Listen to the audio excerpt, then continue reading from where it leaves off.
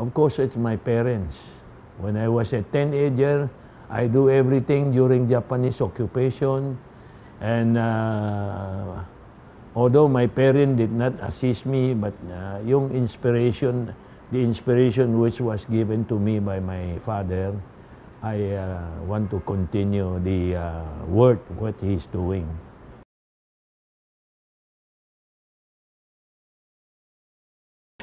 Well, one thing I live by is that uh, I want to be a philanthropist.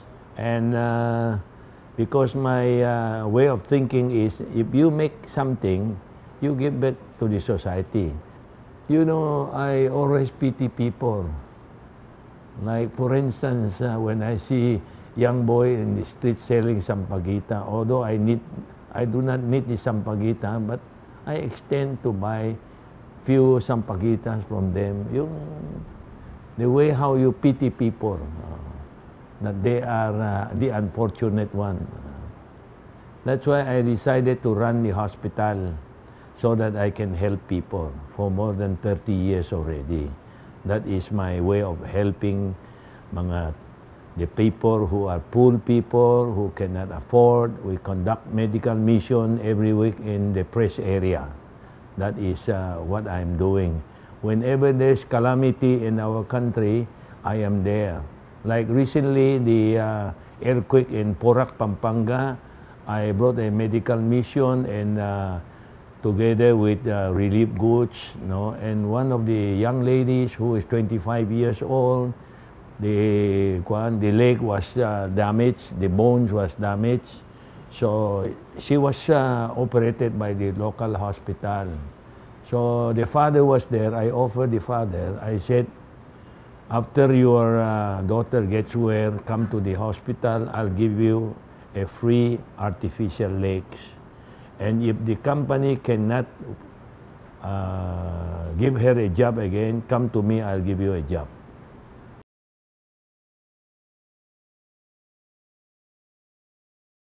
You, you know, when uh, after uh, liberation, I went back to school, and then uh, uh, at the same time, if I have spare time, I worked for my father's store until I become his GM at the age of 26.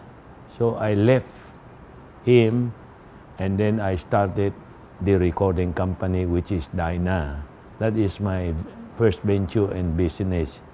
And it was very successful.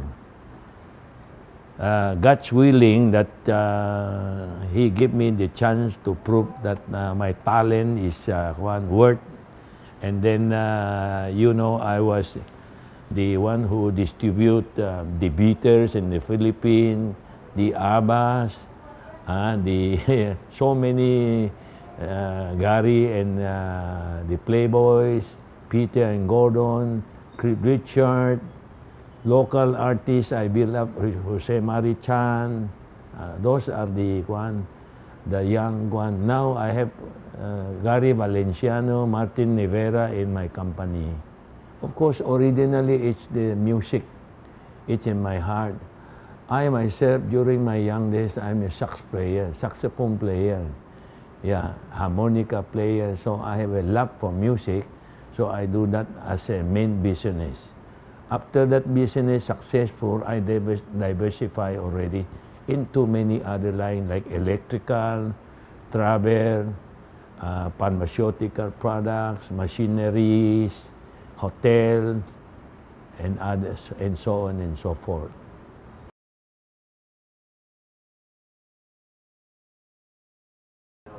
Well, Chinese General Hospital is a foundation. And uh, when I became a board of director, I saw that uh, this institution should be uh, expanded. So after my predecessor, I become the uh, chairman of the board and then uh, eventually become president and CEO of the uh, hospital. So that was in the year 1989. I started uh, running the hospital. I expanded it. I built so many buildings, new, new equipments for the hospital. Because uh, if you want to maintain good uh, doctors in the hospital, you must have good equipment. When you have good equipment, you must have good doctors. It uh, it uh, compensate each other. You know, this organization actually uh, is was established in the year 1877 during the Spanish time. That is the first organization that which uh, the Filipino Chinese established. During the early days, it's called, in Spanish time, it's called Comunidad de Chino, the Chinese community. After that, it became the Philippine Chinese Charitable Association. In the, eight, in the year 1878, uh, when uh, the Chinese people who died, if you are non-Catholic, you cannot bury it in uh, cemetery La Loma. So, our ancestor bought big tract of land, 50 hectares of this land, and established the Chinese cemetery. And uh, one of our national hero, Apolinario Mamini, was buried there because he is a non-Catholic. So he was buried there. In the year 1965, Apolinario Mamini was, yung uh, bones niya was transferred to, uh, I believe it's in Tanawan, Batangas. That is the one. And then uh, when uh, the Chinese people get sick during the early days, in the year 1891, we established the Chinese General Hospital. Now, which at that time only Chinese medicine. Later on, it became Western medicine. And our first medical director is the Dr. T. Han Ki, the father of the late Chief Justice of the Supreme Court. In uh, 1921, we are running short of nurses, so we established the College of Nursing. Now, 2018, October, I started College of Medicine also. We are uh, training doctors studying there. In uh, 1951, we established the Home for the Aged. Those Chinese who uh, is homeless, no children, no heir to take care of them, we took them in as, as soon as they are being certified by the family association. And every day we feed them, we send doctors and nurses to check on them. And downtown uh, Manila, our headquarters in Soler Street, we have established 1952, the free clinic there. Any nationality, all walks of life, they can go there and consult our doctor and nurses, free of charge.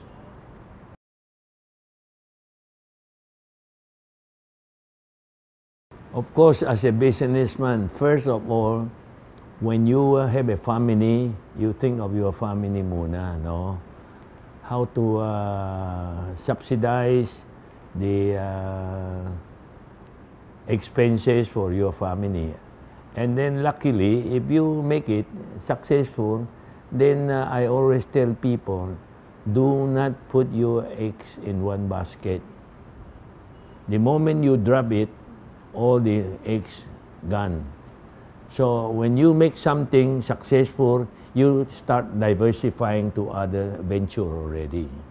So I have different line of business now. You must know how to uh, to use people. That people whom you can use it must trustworthy. You can trust them. So that is the one. Then I preside board meeting only and I see to it what are the sales, what are the expenses, uh, conduct board meeting. That is only my job.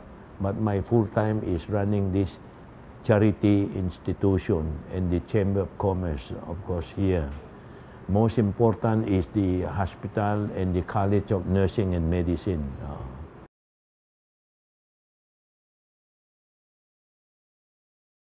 Well, my latest achievement is I become the third man in the Philippine Red Cross as governor and national treasurer. That is a very important uh, charity organization also that which can help a lot of people, especially uh, Red Cross is the one of the largest blood bank in the country, even bigger than the government's uh, blood bank. Uh, we have about 24 blood banks all over the country. 81 chapters has blood uh, one available in 81 chapters. So this is in relation to the hospital. The hospital sometimes is limited only on bloods. So when I become governor, you know, I can help people uh, purchase uh, blood from Philippine Red Cross. Well, uh, you know, we have so many poor people in this country. You know, we have 81 provinces. So we go around in medical mission to help our people. We bring doctors, free medicines, as well as eyeglasses. Sometimes minor operation we do it there. I love to help people. That's why I mentioned to you earlier, uh, whenever there's calamity, earthquake, volcano, volcanic eruption, uh, flood, typhoon, we are there.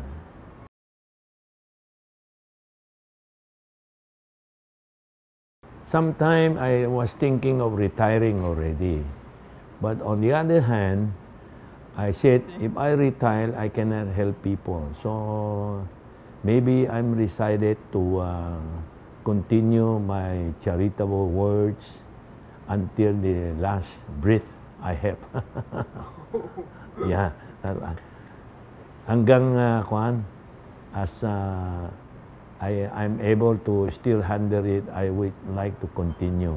However, I'm training some, some young people now, two or three young people in the organization, so that when I'm gone, they can succeed me in uh, what I'm doing. I'm teaching them what to do. Well, my advice to the young people is nothing comes easy to this world. If you want something, you have to work hard work hard, work for it. No? After schooling, you have to start working already. I always tell people, when you work after school, when you reach 45 up to 50, if you have not achieved anything yet, I did not say you don't have a chance. You still have chance, but the chance is very slim already because I always compare the water. No matter how high the water goes, it will go down. So that is the start of going down already. After 45, 50, you want something, work hard. You see people who those tycoon, taipans, huh? they work very hard. I know the history, how they work. I worked hard as a young man during the Japanese occupation. I become a vendor. I sell a lot of things. Uh, I enter many lines. I manufacture something myself as a young man. So I have all the experience in business. Or when I started my own, I know what to do.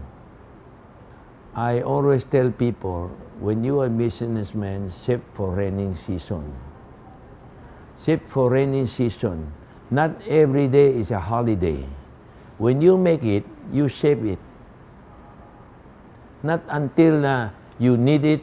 Sometimes, you know, a lot of our people, when they get sick, they want to go to hospital. They do not have the means. They do not have the money. But I always say, save for rainy season so that when you save, someday you want to do something, you have the capital to run your business. How would you start if you do not have saving. No?